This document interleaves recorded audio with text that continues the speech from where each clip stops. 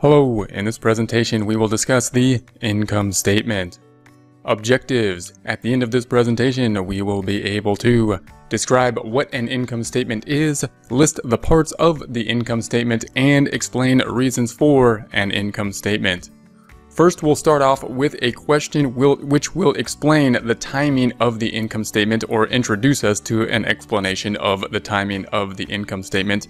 And that is the question of asking somebody how much do you make? When we were to, if we were to ask somebody how much they make, they would mentally make some type of assumption in order to answer that question, or they would ask you the question if they chose to answer at all. The question, what do you mean? Do you mean per month? Do you mean per year? Do you mean per week? And this is going to be something that needs to be answered in order to answer the question. Now, oftentimes, if we were to ask somebody how much they make, they would make an assumption Generally, many times we're going to say, well, this is how much someone makes a year. If we were to ask someone how much they make, they might just say, oh, this is how much we make per year, or this is how much we make per month or per paycheck. But some type of assumption needs to be made in order for this question to be answered. Unlike a balance sheet type question, for example, if we were to ask somebody how much money do they have, how much cash do they have, we don't need to ask any other question. We don't need to say, what do you mean, money per month? No, we just say, as of this point in time, this is how much money we have as of now.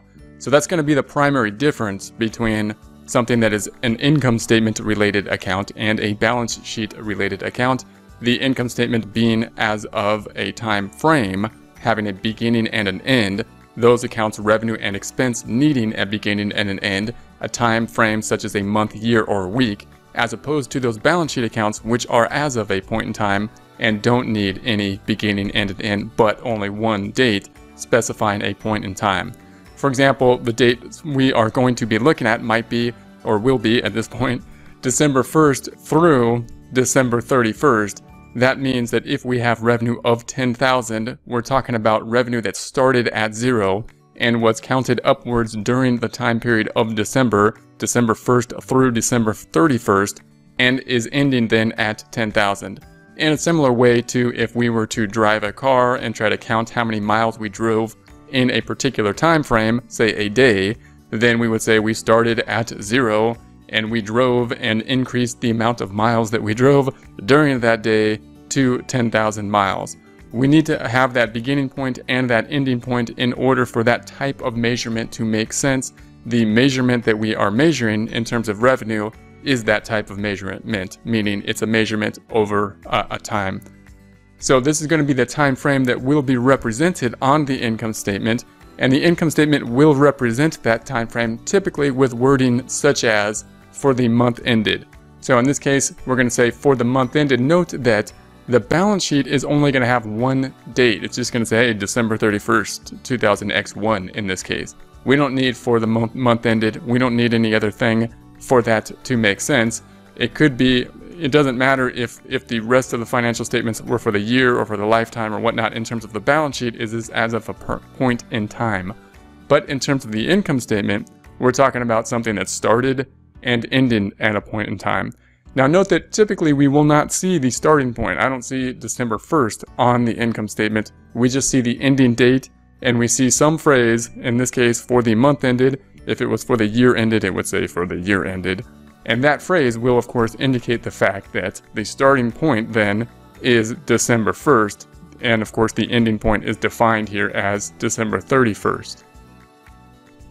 When considering the income statement, we can think of the net income equation, that equation of revenue minus expenses equaling net income. So the components of the income statement will be revenue and expense, we may have some different types of income statements, some different subcategories depending on the industry and the format of the income statement. However, the general the general categories will be the same, meaning we're going to have revenue accounts, we might have some subcategories of revenue, and we're going to have expense accounts. We might have some subcategories of expenses. Right now, we're going to look at just the simplified income statement, looking at those two components, not adding any subcategories at this point, looking at basically what would typically be used for many service companies when we move to merchandising companies and manufacturing companies, then we often add some subcategories that uh, will subcategorize some of the major, most important expense and income relationships. So in this case, we're going to say we do services in terms of computer services. That's how we're going to get revenue. That's what we do in, er, in order to generate revenue. Note that most businesses will only going to have like one or two main revenue accounts because when we think about specialization in terms of a business, we are going to do what we do well, concentrate on that in order to generate revenue, resulting in a need for only one or two revenue accounts. And then we're going to pay for everything else that we um, need to consume in order to help us to generate that revenue, those being expenses. So in terms of amount of types of expenses like the phone bill, uh, the auto expense, not the auto itself, but the auto expense, wages, we might have uh, supplies. Again, we're going to expense the supplies as we use the supplies, although it'll be an asset and then expensed. And then we ha might have meals and entertainment. We're going to have all these different types of expenses, and we're going to have a bunch more expenses typically than we have accounts for revenue. However, the hope is that the revenue account dollar amounts add up to more than the sum up of all the expense dollar amount accounts. So once again, in total, we will have more expense accounts typically, and we almost always, we only have oftentimes one revenue main revenue account, but the revenue in dollar amount will be hopefully larger than the expense dollar amount, and therefore we should have net income and remember that net income is going to be part of the equity section. Therefore, we can kind of think of the net income as increasing the equity, increasing the amount that is going to go to the owner or owners or stockholders. In this case, we're talking about an owner if we have a sole proprietor. If it was a partnership, then of course the net income would increase what would then be allocated to the partners. And if we have a corporation, the net income would increase what would then be allocated to the shareholders. Looking at the components of the income statement, we start off with income or revenue.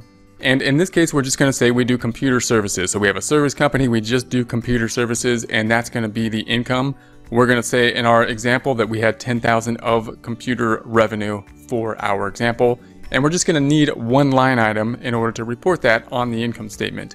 Note that if we had two or more revenue sources, then we may put revenue as a subcategory and then list those two revenue sources and then put the those amounts in the inner column to be summed up in the outer column.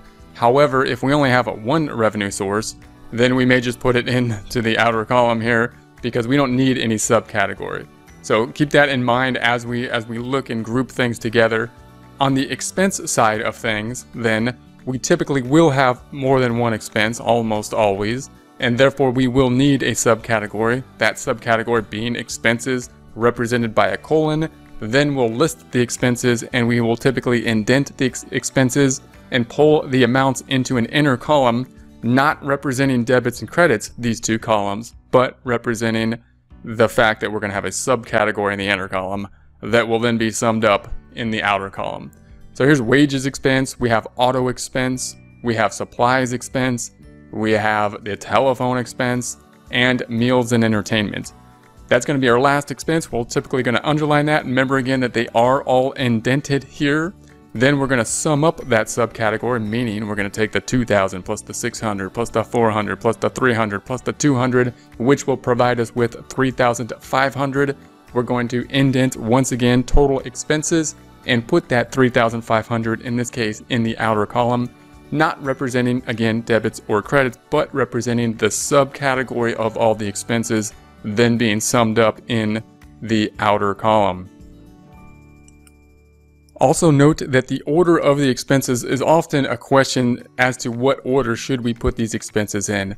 Now, it doesn't have to be any, any particular order, but we do want to put it in an order that will be best useful to the end users. Oftentimes that order will be something like putting the biggest or largest expenses first. In this case, wages expense is often one of the bigger expenses for a company, and then put it in descending order.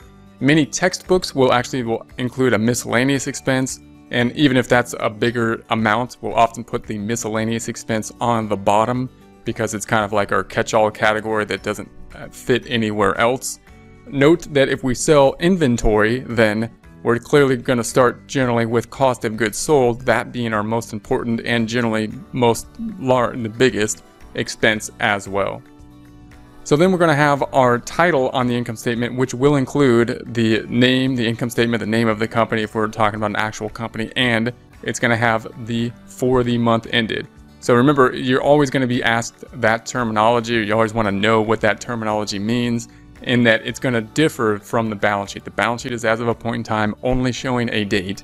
The income statement will be for a time frame, including a beginning date and an ending date.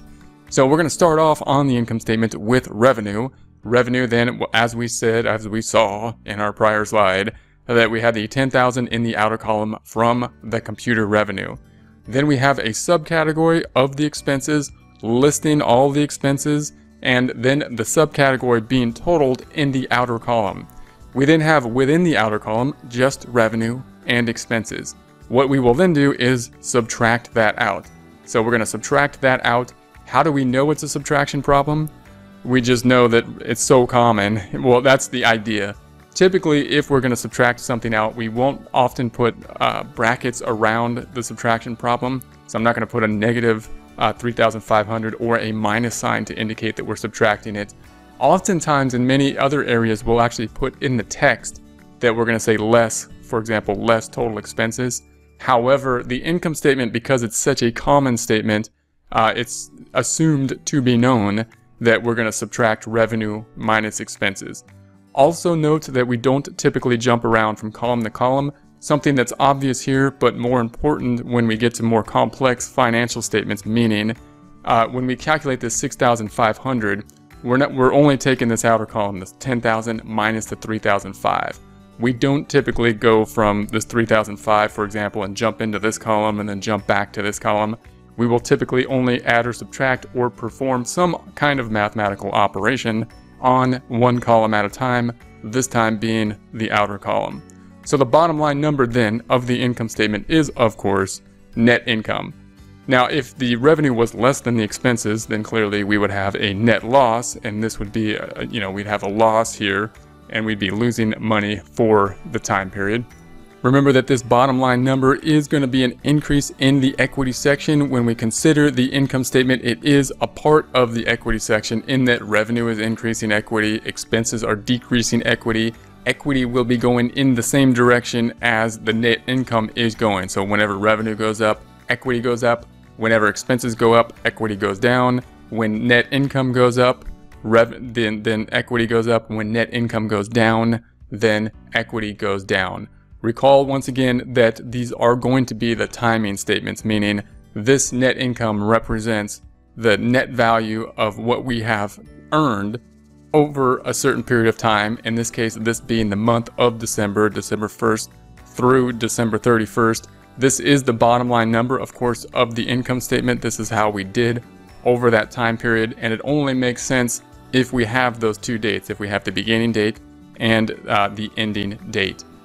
Objectives, we are now able to describe what an income statement is, list the parts of the income statement, and explain reasons for an income statement.